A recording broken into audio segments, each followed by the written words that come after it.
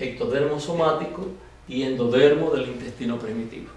Allá para la cuarta semana y media ya empieza este tejido a morir, los macrófagos lo desaparecen, los desaparecen porque son dos tejidos distintos y por supuesto allí queda entonces la comunicación amplia entre el vestíbulo bucal y la cavidad oral. Esta zona específica que nos quedaría cuando esta membrana desaparezca, si desaparece esa membrana completamente, ¿puedo borrar un poquito? ¿Todo el mundo entendió bien la explicación? Sí, profesor. Sí, vamos a hacerlo. Miren, esto desaparece ya en la quinta semana de la vida intrauterina, esa membrana se ha ido, ya no existe. Y entonces la repitalización de ambos tejidos acontece, afinidad histológica, y por supuesto,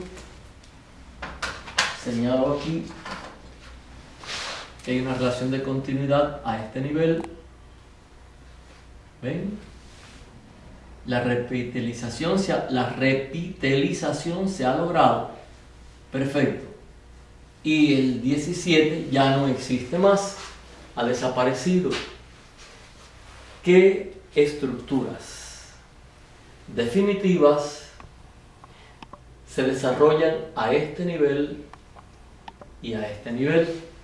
¿Podría algún alumno decírmelo, por favor? Los procesos de eh, donde van a, salir, a hacer erupción los dientes. Así mismo, exactamente. Las arcadas dentarias. Arcada dentaria superior y arcada dentaria inferior. Qué interesante, ¿verdad? Pero no me voy a alejar más del objetivo fundamental que es el desarrollo de la glándula tiroides. Pero como la tiroides está en esa zona, este detalle considero que es importante y por eso lo destacamos. Aquí con los números 18 y 19. Muy bien, pues entonces, ¿alguna pregunta? ¿Todo se explicó bien? ¿Todo se ha entendido? ¿Sí? Ok. Aquí tenemos entonces cada uno de los detalles estructurales donde aparece el número 1 en azul la hoja somática del mesodermo extraembrionario. Por dentro, como aquí lo indica la punta de la flecha, en lila, en morado, aparece la capa, una capa monoestratificada de amnioblastos. Y el 3 es entonces el amnios. El 4 es la cavidad amniótica que ustedes me han dicho hace un instante que está llena de líquido amniótico. De líquido amniótico. Así entonces el estomodeum es el número 5. Primordio de qué parte del cuerpo? Del vestíbulo bucal. Del vestíbulo bucal, así mismo es.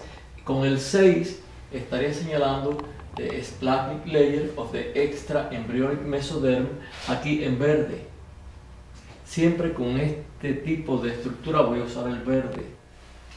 Pasamos al 7. El 7 es una sola capa de células endodérmicas pequeñas, aplanadas, que conjuntamente con el 6 van a formar al 8, es decir, a la pared del saco vitelino secundario. Wall of the secondary vitelline sac. Vamos a poner una palabra que falta. Miren que bien.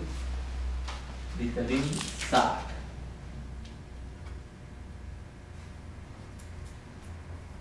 Falta aquí este sitio, no ocupo, pero ya está puesto, ya se arregló.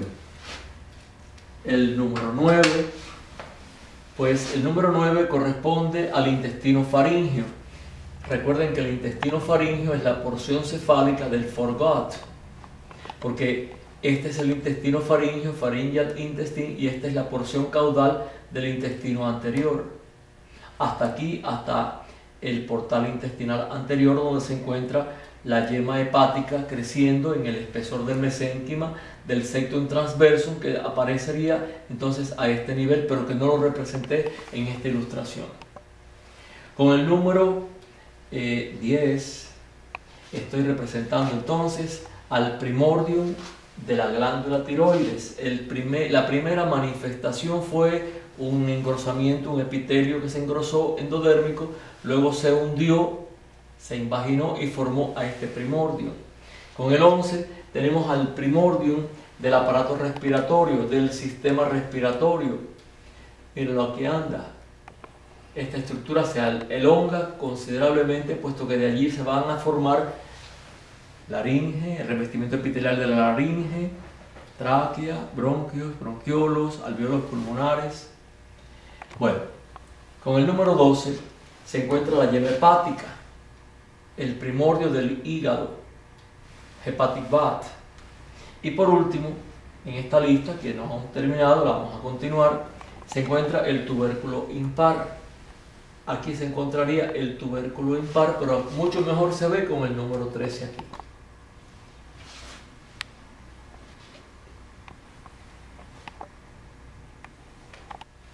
Y continuamos entonces con el número 14. La eminencia hipobranquial, aquí está. Por tanto, la tiroides se forma, se empieza a formar entre el tubérculo impar del primer par de arcos branquiales, es decir, del proceso mandibular y la eminencia hipobranquial que se encuentra en el suelo del intestino faríngeo. El número 15 me está hablando de que esto es en negro el mismo, miren para acá por favor, el mismo ectodermo somático, ¿verdad? Que cubre el cuerpo del embrión. Bueno, pues ese ectodermo somático que cubre el cuerpo del embrión es el que está tapizando por completo esta depresión ectodérmica llamada estomodeo. Y por supuesto, este detalle aquí en negro, aquí lo vemos, ¿verdad? En negro, es entonces este ectodermo somático que aparece con el número 15. Es decir, con el 15 aparece el ectodermo somático del estomodeum que está cubriendo al proceso mandibular, pero que resulta que ya habíamos por acá señalado al ectodermo en otra ocasión con otra numeración, pero que no me interesa hacer ningún cambio por ahora. Por tanto, eso queda así.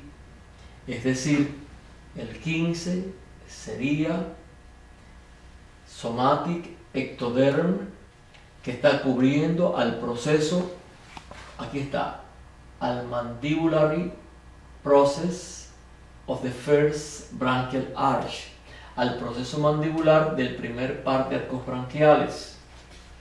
Y enseguida pasaríamos al 16, es el endodermo, este es el endodermo del intestino primitivo.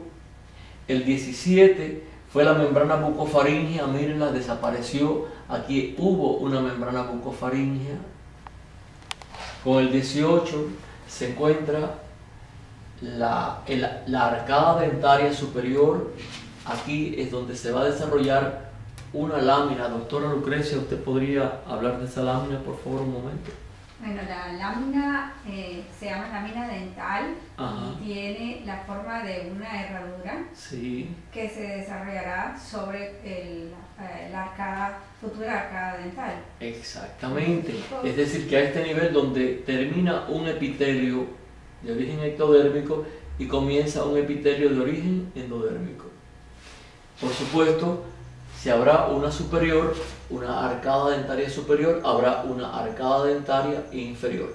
inclusive hay que destacar que si aquí se desarrolla un diente y aquí se desarrolla otro diente, por tanto, este epitelio sería negro, el de la mucosa del vestíbulo bucal, mientras que este epitelio en rojo sería el epitelio de la mucosa de la cavidad oral.